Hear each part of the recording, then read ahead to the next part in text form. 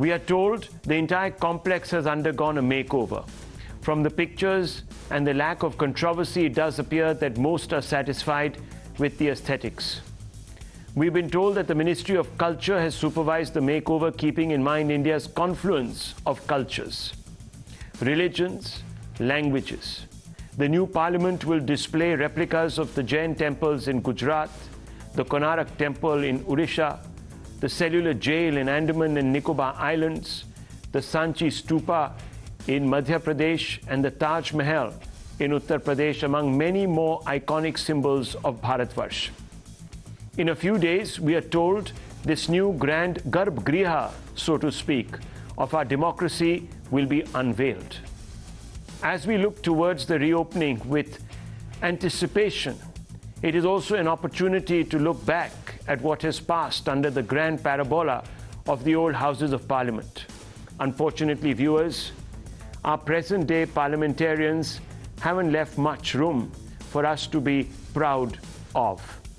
Yes, we will get a new womb, so to speak, to nurture democracy. But if this womb is blighted by the tumors of malign agenda masquerading as lawmaking, degenerating debates, and terminally declining decorum, then viewers, we would have passed up a much needed opportunity to revive parliamentary due process and procedure. The last sitting of parliament was least productive since 2014 someone, viewers, must step up to the plate, create space for true bipartisanship so that we can deliver to the public at large, viewers, a democracy they deserve. You know the problems. You know all the problems because, thankfully, viewers, we have cameras inside the Houses of Parliament. We can see when MPs skive during important debates. We can see when they dodge, when they misinform, and when they misbehave. Parliamentary ethos is in decline. The last sitting of Parliament was least productive, as I said, since 2014. I'll just give you some statistics. Lok Sabha sat for only 47% of the scheduled hours, the Rajya Sabha for only 42%.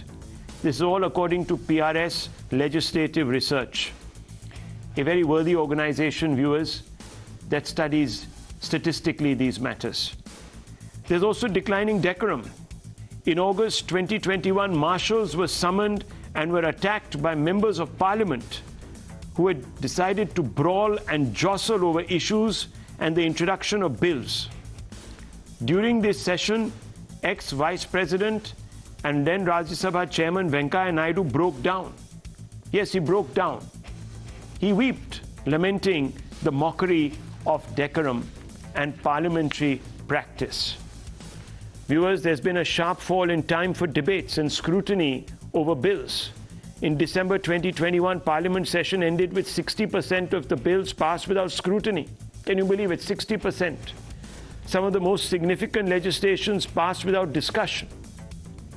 The trend is on the up and is a disturbing reflection on the breakdown of spirit of bipartisanship in the House. There are growing percentage of criminals among our MPs in Parliament. You know the statistics, they're on your screens viewers.